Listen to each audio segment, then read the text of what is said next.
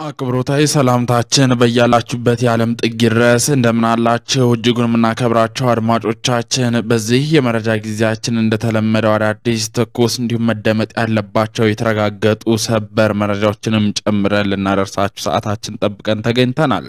እስከ ፍጻሜ ሲቆዩ ከምሰሟቸው መረጃዎች መካከል እንደተለመደው ዋና ዋናዎቹን በማስታወቅ እንጀምራለን። ሁላችሁም ቪዲዮውን like በማድረግ አብራችሁን ቆዩ። ከደቂቃዎች በፊት በደረሰን ሰበር መረጃ ጀግናው የወሎ ፋኖ ወርቂ ላይ ታሪክን መስራት ጀምሯል። የወሎ ፋኖ በሚገባ ጁንታው የህወሓት ቡድንን በመደምሰስ በከፍተኛ ሁኔታ ግስጋሴውን ቀጥሎበታል። በዚህም ሁለት ቀበሌዎችን መቆጣጠሩ ሙሉ በሙሉ የተረጋገጠ ሰበር መረጃ ደርሶናል። ከዚህ ባለፈም የሽብር ቡድኑ ህወሓት አንድ ከፍተኛ አመራር በራሱ ጠባቂ መገደሉም ተሰምተዋል። ይህ የህወሓት አመራር ማን ነው? ዝርዝሩን ይዘኗል። ከዚህ ባለፈም እንዲሁ ሀገራችን ኢትዮጵያ ጥብቅ የሆነ መግለጫን ሰጥታለች። በተለይም ሀገራችን ኢትዮጵያ የሱዳን ወታደሮች የተገደሉት ወደ ድንበር ዘልቀው በመግባታቸው ነው ማለቷ በዓለም አቀፍ ዘንድ እያነጋገረ ይገኛል። መንግስት ምሽቱን ያወጣውን መግለጫን በዚህ ቪዲዮ አካተናል። ከቆቦ ስደተኞች ጋር በተያያዘና የሰብአዊ ድጋፍ አልቀረበልንም ማለታቸውና ሌሎች መደመጥ ያለባቸው መረጃዎችን ይዘናል። የኤርትራ ጉዳይም ይዳሰሳል። አድማጮች ለዚህ ታላቅ ቻናል አዲስ የሆናችሁ ካላችሁም channel ኡን subscribe በማድረግና የደውል ምልክቷን በመጫን ቤተሰብ እንድትሆኑ በአክብሮት እየጋበዝን በቀጥታ ወደ መረጃው እናልፋለን። ቀዳሚ መረጃችን የምናደርገው በጦር መሪው አርበኛ ደምሌ አራጋው ትዕዛዝ ተሰጥቶት በአልሞ ተኳሹ አብዱ ስሩርና በዘመቻው መሐንዲስ ሰለሞን ሰማው እየተመራ ከረምን ተሻግሮ ወርቄ ምድር የገባው ባለ ታሪኩ የወሎ ፋኖ ትልቅ ጀብድን እየሰራ ይገኛል። ሰሞኑን በድርድር ስም መንግስትን እያወናበረ ያለው ወራሪው የሽብር ቡድን ህወሓት በወርቂና ዞብል ህዝብ ላይ የፈጸመውና እየፈጸመ ያለው ጸያፍ ተግባር እየተሰማ አስችሎት መቀመጥ ያቃተው የወሎ ፋኖ ከትላንት በስቲያ ጀምሮ እንዲሁ ከፍተኛ የሆነ ግስጋሴን በማድረግ በትላንትናው ዕለት የሽብር ቡድኑ ላይ ጥቃት ድንገተኛ ጥቃት ከፍቶም ዘራፊው ቡድን ላይ እርምጃን ወስዷል። ከዚህ ባለፈም ታዲያ በቦታው ጦሩን ሲመሩ የነበሩ የሽብር ቡድኑ ህወሓት መሪዎችም ታጣቂዎቹ እንዳያፈገፍጉ ትዕዛዝን በመስጠትም ከፍተኛ ቁጥር ያለው የጁንታው ታጣቂም ረፍርፎታል። ታዲያ በዚህም የሽብር ቡድኑ ህወሓት ከፍተኛ ቁጥር ያለው ታጣቂያቸው እንደረገፈባቸው ከተረዱ በኋላ በዚህ መሀል ታዲያ እናፈግፍግ ወደ ቆቦ ከተማ እንግባ በሚል ከጦር መሪዎች ጋር አለመግባባት ተፈጥሮ በዚህ መሃል ከተዋጊ ተራ ወታደሮቹ የመጣን ጥያቄ ያልተቀበሉት አመራሮቹም መሀል ላይ ከዚህ ቀደም አንድ ብርጌድን ሲመራ የነበረው የጁንታው የህወሓት ቡድን ከፍተኛ አመራር በገዛ ጠባቂው እንደተገደለ ተሰምቷል። በዚህም ወደሚመኘው ሲኦልም የከፍተኛ አመራር እንደተሸኘም ተሰምቷል። ታዲያ ይህ የህወሓት አመራርም ክፍሎም ሀብተ ማርያም የተባልና ከዚህ ቀደም በከፍተኛ ደረጃ ጁንታውን ሲያደራጅ እንደነበረም ጭምር ተረጋግጧል። ከዚህ ባለፈም በዚህ ግንባር የተማረኩ የጁንታው የህወሓት ቡድን ታጣቂዎችም ይህንን መረጃም እንዲሁ አረጋግጠዋል። ከዚህ ባለፈ አዳሩን በዘለቀው ለአስጨራሽ ውጊያም ትንታጉ የወሎ ፋኖ የጠላትን ምሽግ ሰባብሮም ሁለት ቀበሌዎችን ነፃ በማውጣት ታፍኖ የነበረውን ህዝብ ታድጓል። በወያኔ መንጋዎች ታፍኖ እየተሰቃዩ የነበሩ የሁለት ቀበሌ ነዋሪዎችም ወደ ዳር ለመውጣት ችሏል። በባለፈው ውጊያ ቆስለው ሳይወጡ የቀሩ ወገኖችም ከወያኔ መንጋጋ ነጥቆም ወደ ዳር ጀግናው ፋኖ ማውጣት ችሏል። ሰሞኑን የማህበረሰቡን ቤት በእሳት በማቃጠል የቀንድ ከብቶችን ሰብስቦም ወደ ትግራይ ሲጭን የነበረው የሽብር ቡድኑ በወሎ ፋኖ ላስጨራሽ ትግል ሊጫኑ የነበሩ ቀሪ ከብቶችን ማዳን እንደተቻለም ተሰምቷል። እስከ ትላንት ድረስም በዘለቀው ውጊያ ብዛት ያላቸው የቁም ከብቶችን ወደ ዳር ማውጣትም ተችሏል። እስካሁን ባለው መረጃ ታዲያ ከወገን ጦር በኩል እስካሁን የተሰዋ እንደሌለና ጀግናው መከላከያ ሰራዊታችን ልዩ ኃይልም በተለያዩ ግንባሮች አሁንም የያዙትን ቦታ በማስጠበቅ ላይ እንደሚገኙም ጭምር ተሰምቷል። ጦርነት ሁኔታ ተቀዛቅዞ ቢቀጥልም የሽብር ቡድኑ ህወሓት ግን ወዴትም ቦታ ሊንፈናፈን እንዳልቻለም የደረሰ መረጃ ይጠቁማል። ድል ከህዝቡ በፊት ራሱን ለሚሰዋው ወገን ጥምር ጦር ሞት ደግሞ ለሽብር ቡድኑ ህወሓት እያልን ወደ ተከታዩ ዜናችን እናልፋለን። አድማጮቻችን ተከታዩ ዜናችን የሚሆነው የኢትዮጵያ መንግስት አዲስ ያወጣውን መግለጫ በተመለከተ ነው። በዚህም ኢትዮጵያ የሱዳን ወታደሮችን የገደልኩት ወደ ድንበሬ ዘልቀው በመግባታቸው ነው ማለቷ ተሰምቷል። የኢትዮጵያ ውጭ ጉዳይ ሚኒስትር ትላንት ማምሻውን ባወጣው መግለጫ በኢትዮ ሱዳን ድንበር ከሰሞኑ በተፈጠረው የሱዳን ወታደሮች ሞት ማዘኑን አስታውቋል። ሚኒስትሩ በመግለጫው እንዳለው ከሆነ ድርጊቱ የተፈጠረው በሱዳን መከላከያ ሰራዊትና በአካባቢው ባሉ ሚሊሻዎች መካከል መሆኑን ጠቅሶ በተፈጠረው የሱዳን ወታደሮች ሞትም ማዘኑን ገልጿል። ከአምስት ቀናት በፊት የሱዳን ጦር በህወሓት በመታገዝ ወደ ኢትዮጵያ ድንበር በመግባት ችግር ለመፍጠር ሲንቀሳቀሱ በሚሊሻዎች ጥቃት እንደደረሰባቸው የገለጸ የውጭ ጉዳይ ሚኒስቴር መግለጫ ጉዳዩ በቀጣይ እንደሚመረመርም አስታውቋል። ይህ በእንዲህ እንዳለ ግን በሱዳን ጦርና የውጭ ጉዳይ ሚኒስቴር ያወጧቸውን መግለጫዎች ተቀባይነት እንደሌላቸውም ተገልጿል። ሱዳኖች እንዳልተቀበሉት ማለት ነው። ታዲያ የሱዳን ጦርም የኢትዮጵያን ድንበር ጥሶ ገብተው ጥቃት ለመፈጸም ሞክሮ እያለ ያለ አግባብ የኢትዮጵያን ስም መነሳቱ ትክክል አለመሆኑን የገለጸው መግለጫው ሱዳን ከድርጊቷ እንድትታቀብም አስጠንቅቋል። በሱዳን በኩል እየተሰጡ ያሉ አሁናዊ መግለጫዎች በሀገሪቱ ወይም በእነዚህ ሁለት ሀገራት መካከል የነበረውን የረጅም ጊዜ ወዳጅነት የሚያበላሽ መሆኑን የኢትዮጵያ የውጭ ጉዳይ ሚኒስቴር አስታውቋል። የሰሞኑን ክስተት የሁለቱን ሀገራት መልካም ወዳጅነት ሆን ብለው የማበላሸት እቅድ ባላቸው አካላት መሆኑንም ኢትዮጵያ ትረዳለችም ተብሏል። ኢትዮጵያ የሁለቱ ሀገራት ልዩነቶች በመርህ ላይ የተመሰረቱ መፍትሄዎችን ለማምጣት ዝግጁ እንደሆነችም ተገልጿል። የሱዳን መከላከያ ቃል አቀባይ ከትላንት መግለጫቸው እንዳሉት ከሆነ ሰባት የሀገሪቱ ጦር አባላት በኢትዮጵያ እንደተገደሉና የአጸፋ እርምጃ እንደሚወስድም መናገራቸው የሚታወስ ነው። በሀገራችን ኢትዮጵያም አሁንም ሀገራችንን ሉዓላዊነት የሚዳፈሩ የሌሎች ሀገር ታጣቂዎች ወደ ሀገራችን በሚገቡበት ወቅትም እንደተለመደው ምላሿን እንደምትመልስም ያላትን አቋም ገልጻለች። አድማጮቻችን ወደ ተከታዩ መረጃችን ስናልፍ ደግሞ ኤርትራ የክተት አዋጅ ማወጇን በተመለከተ የተለያዩ ሀገራት ተቃውሞ ሲያሰሙ ተሰምቷል። ከነዚህ መካከልም ካናዳ በኤርትራ የሚገኙ ዜጎቿን ጭምር እንቅስቃሴያቸውን እንዲገድቡ ማስጠንቀቂያ ሰጥታለች። የካናዳ መንግስት ዓለም አቀፍ ጉዞን በተመለከተ መረጃ በሚሰጥበት ድረገጽ ባሰፈረው ማስጠንቀቂያ የሀገሪቱ ዜጎች አስፈላጊ ያልሆኑ ጉዞዎችን እንዲሰርዙ ተመክረዋል። የኤርትራ መንግስት ለሰሜን ኢትዮጵያ ግጭት ምላሽ ለመስጠት የጦር መሳሪያ ለታጠቁ ኃይሎች አጠቃላይ ጥሪ ማቅረቡን ካናዳ አስታውቃለች። የካናዳ ዜጎች ኤርትራ ከኢትዮጵያና ሱዳን በምትዋሰንበት ድንበር አካባቢ 50 ኪሎ ሜትር ርቀት ውስጥ እንዳይገኙ ተመክረዋል። በኤርትራ የሚገኙ የካናዳ ዜጎችም የጉዞ ሰነዶቻቸውን ወቅቱን የጠበቁ መሆናቸውን እንዲያረጋግጡ የኤርትራ መገናኛ ብዙሃንን በመከታተል ተለዋዋጩን ሁኔታ እንዲገነዘቡም ምክር ተለግሰዋል።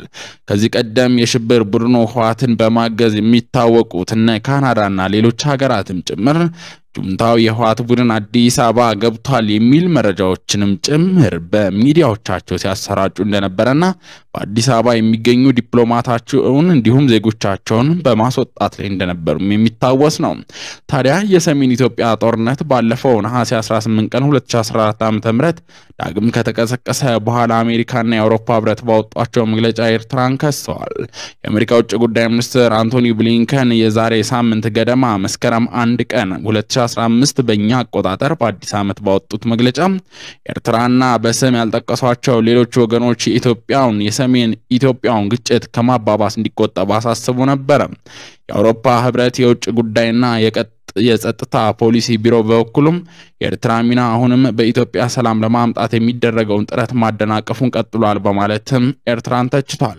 ኤርትራ ግን የአውሮፓ ህብረትን ክስ መሰረተ ቢስ ስትልም አጣጥላለች።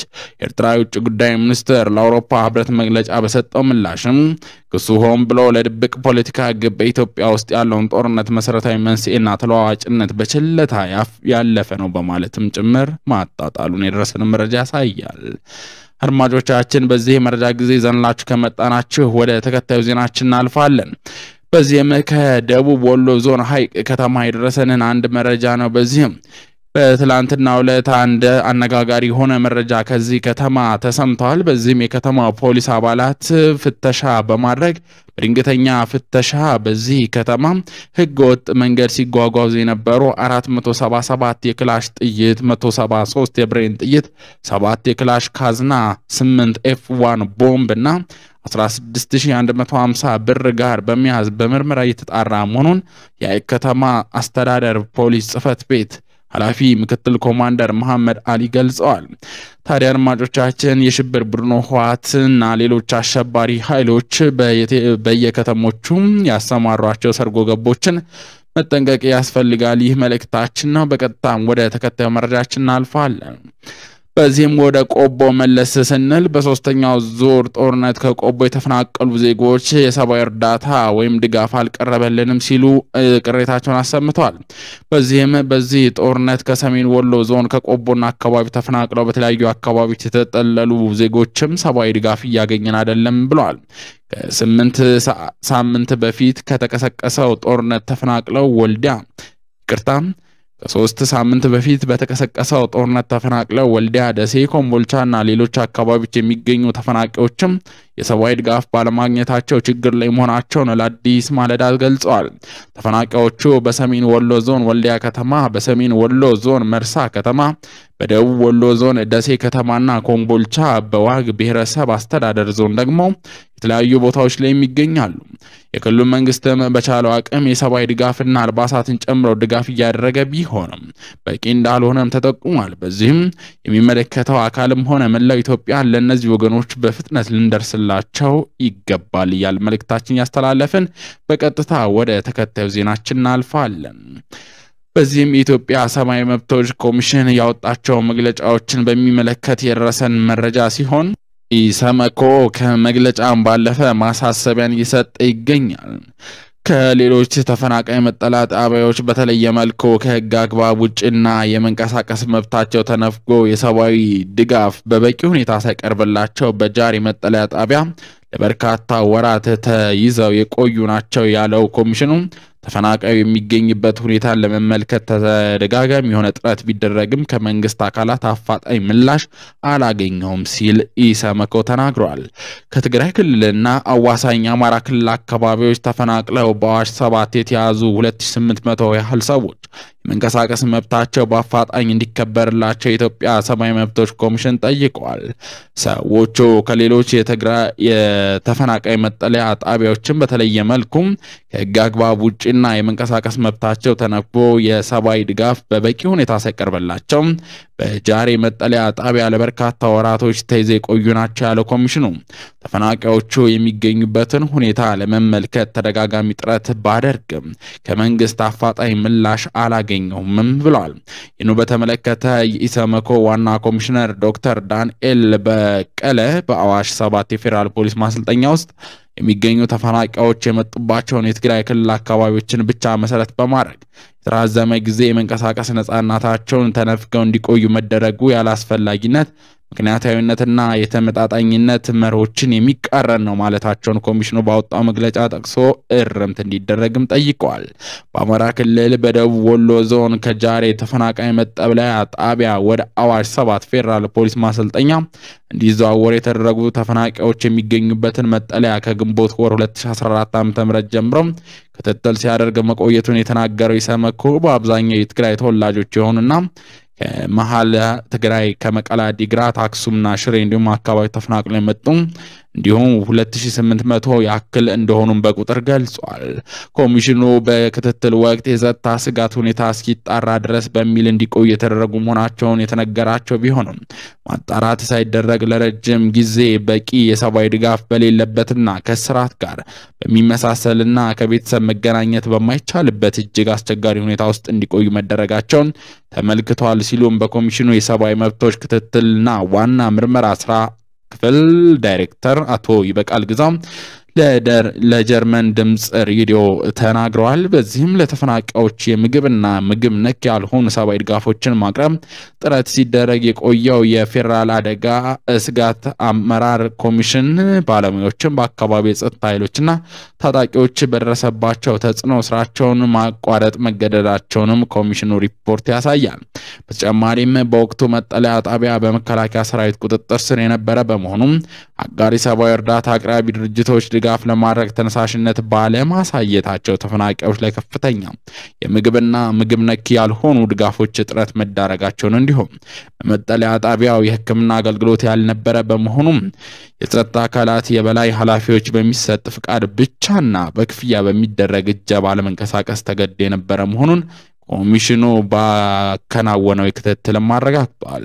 ኢሰመኮ ጉዳዩን ለሚመለከታቸው የፌዴራልና ክልል መንግስት ተቋማት የሁኔታውን አሳሳቢነት በመግለጽ ተፈናቃዮቹ በህግ አግባብ በቁጥጥር ስር የዋሉ ባለመሆናቸው የመንቀሳቀስ መብታቸው ሊረጋገጥላቸው የሚገባ መሆኑን ከመካከላቸው የጸጥታ ስጋት እንዲሁ ስጋት ውስጥ እንደሆኑም ጭምር በምክንያታዊነት የሚጠረጠሩ ሰዎችም ካሉ የመለየትና የመመርመርና ህግ አግባብ ተጠያቂ ማድረግ ስራው ግልጽ እና ህጋዊ በሆነ መንገድ እንዲፈጸም ሲጠይቅ እንደቆየም ተሰምቷል። ታዲያ ይህንን ያለው የኮሚሽኑ መግለጫም ይሁንና በተፈናቃዮች ሁኔታ ላይ ተጨባጭ መሻሻል ሳይታይ የሰሜን ኢትዮጵያው ጦርነት በቅርቡ በድጋሚ መቀስቀሱን ተከትሎ አዋሽ ሰባት ወደሚገኘው የፌዴራል ፖሊስ ማሰልጠኛ ተቋም እንዲዛወሩ መደረጋቸውን ኮሚሽኑ አረጋግጧል።